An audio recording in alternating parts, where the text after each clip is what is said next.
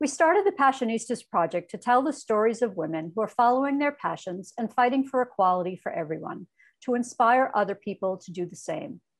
The more we spoke with women for our podcast, subscription box, and the Women's Equality Summit, the more we saw a common trait in all of them. They are unstoppable. Whether they choose to use their voice to start a women owned brand or fight for the rights of the marginalized, we found that all Passionistas are resilient, compassionate, and persistent.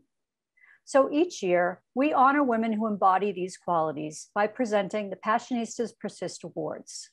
Tonight's recipients, Margaret Cho and Dr. Jane Goodall, personify the values of the entire Passionistas community, and honoring them is the perfect way to end a weekend focused on the fight for women's equality worldwide. We'd like to start by introducing our first presenter for this evening, Selene Luna. Not only is Selene a talented comic, actor, and activist, she's also our producing partner on this summit. Selene was called a polished spitfire by the New York Times and a walking ball of comic defiance by LA Weekly. She is famous for being the voice of Tia Rosita in Disney Pixar's Academy Award winner Coco. In 2019, she took to Capitol Hill alongside US Representative Maxine Waters and US Senator Chuck Schumer to speak on behalf of disability rights. Selene opened for several of Margaret Cho's national tours and is the perfect person to present this year's Passionistas Persist Humanitarian Award. So please welcome Selene Luna. First, I'd like to thank Amy and Nancy Harrington for inviting me to present this year's Passionistas Persist Humanitarian Award. It feels impossible to cover the landscape of what this year's Humanitarian Award recipient has accomplished in her 30 plus year career. She is a pioneering comic amongst women and an outspoken beacon for social justice.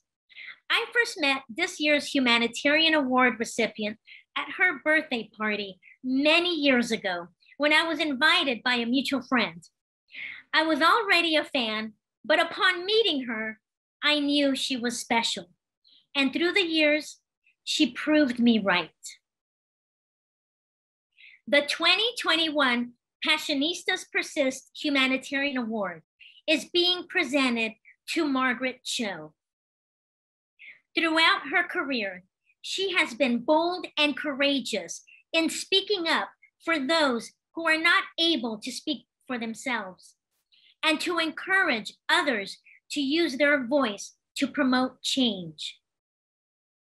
Margaret Cho is an uncompromising leader for equality and justice with a long history of tackling racism, bullying, and LGBTQIA plus rights, long before woke existed, and has always done it with grace integrity, and humility. As a trailblazing comedian, actress, musician, and activist, Margaret Cho has five Grammy Award nominations and one Emmy nod for her groundbreaking work on 30 Rock. Rolling Stone magazine named Margaret Cho one of the 50 best stand up comics, calling her the sort of funny, sex positive, feminist, and LGBT activists younger comics continue to look up to. Currently, you can catch her on Netflix, Good on Paper, and she's excited to get back on the road with her Fresh Off the Bloat tour.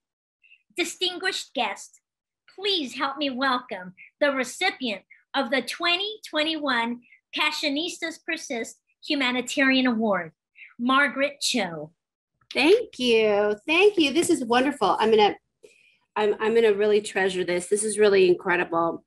I'm so honored and I, I love it. I love that. Like, you know, this is just a, it's a, it's a really beautiful thing to have and to be acknowledged. And it's really special. You know, I think that, um, it's just really incredible to be, um, just, uh, rewarded for what I think is everybody's job is just activism, being aware, being um, and understanding that the world is really an unequal place. And when we can figure out a way to try to normalize equality. Mhm.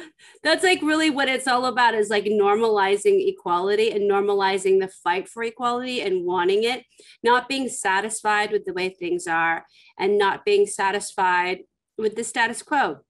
And so this um, award means everything. So thank you. I'm so honored.